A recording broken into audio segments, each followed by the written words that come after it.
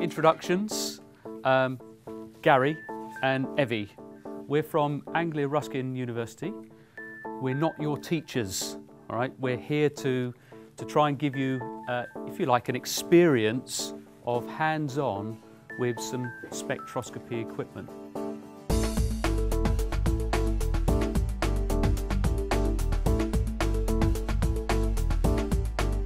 Fact that the Royal Society of Chemistry can bring in this equipment for a day and let our students use it is really, really valuable.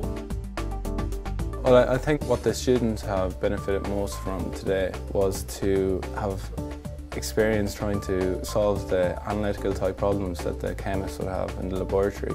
So they were given unknown samples and they had to try and figure out using the uh, spectral data which was available to them, which compounds that they actually had. So I think that was something which challenged them more. I think that the, the topics that they were covering today were really helpful because they are the sorts of subjects that students are interested in, the forensic science type of analytical work, are things that they are interested in and that will encourage them to go into science in the future.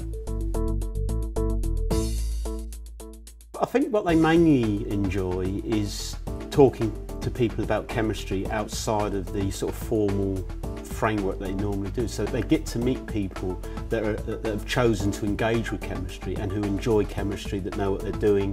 I think the enthusiasm comes over.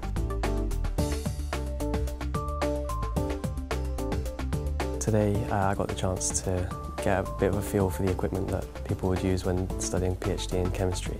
So that was quite a bit of an eye-opener. It was a good experience for me. I thought it was really fascinating to see the um, infrared spectroscopy in action because normally we don't have access to those sort of machines. Yeah, I thought it was, um, it was pretty impressive. I enjoyed getting printouts so we could keep it, refer back to it if we needed to look back on perhaps like revision notes or anything like that.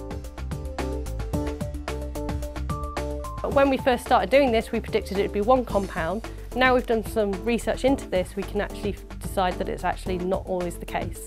And that's why it's important to investigate these sort of things.